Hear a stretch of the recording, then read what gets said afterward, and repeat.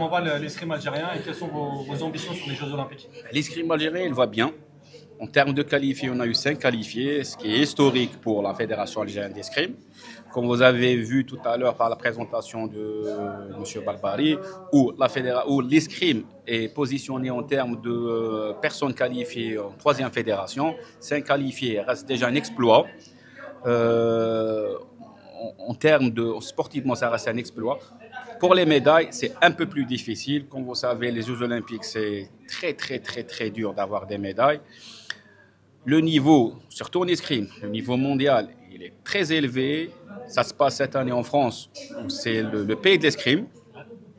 Il faut savoir que toutes les nations qui sont qualifiées se, préparent, la moitié se prépare maintenant en France. Notre équipe, euh, maintenant, notre équipe de sabre féminin s'entraîne à Orléans, en France, dans, l'un des meilleurs centres euh, de préparation du sabre au monde, dans l'académie, l'académie Bauer, où il y a une vingtaine de qualifiés, filles et garçons. Donc euh, notre équipe est dans le, elle est dans les meilleures conditions. Nous avons aussi notre qualifié, le seul qualifié homme au fleuret masculin, qui est actuellement en Italie, dans le centre sportif d'élite euh, national italien, euh, où il se prépare. C'est la dernière ligne droite. Inch'Allah, ils vont rentrer en lice le 29 juillet, que ce soit pour le sabre d'âme ou pour le fleuret masculin. Nous espérons que ces athlètes voilà, vont être récompensés pour leurs efforts, parce que c'est très très dur, ils ont souffert. Euh, nous espérons voilà, que ça va être, cette année, ça va être la surprise de l'escrime algérien. justement, est-ce que vous pouvez nous présenter un peu vos, athlètes? C'est en, individuel? Et en, en fait, nous, nous, en tant qu'escrime, on est qualifié sur deux volets. Le premier, en individuel, on a cinq, euh, on a quatre, euh, qui vont, quatre athlètes qui vont entrer en 10 qui est Sousan Boudiaf, Kahli Zohra et Ben Adouda Shaima au sabre d'âme et Herwi Salim au fleuret masculin.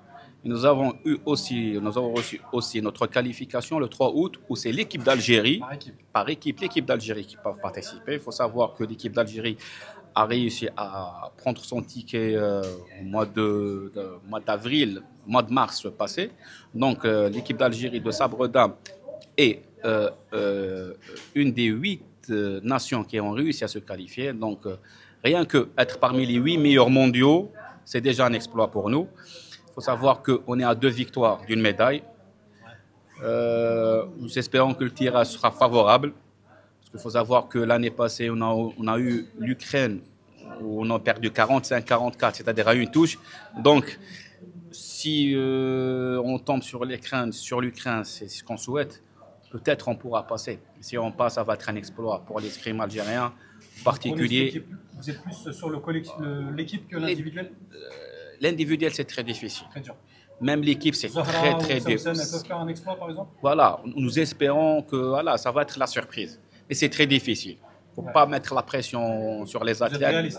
Ouais, ben oui, ben oui, ben oui. C'est, non, l'escrime mondial est très, très, très, très compétitif. C'est-à-dire même les meilleurs mondiaux, ils ne sont pas à l'abri de... C'est comme ça, l'escrime est très exigeant. Donc, euh, c'est, le jour de la compétition, c'est le mental qui va jouer. Euh, ça va jouer sur rien. Ça, ça c'est, le haut niveau. Euh, nous espérons voilà, que nous réussirons à avoir, euh, que nos athlètes réussiront à faire la surprise et que tout le peuple algérien, Inch'Allah. Inch'Allah, merci. Voilà. Merci.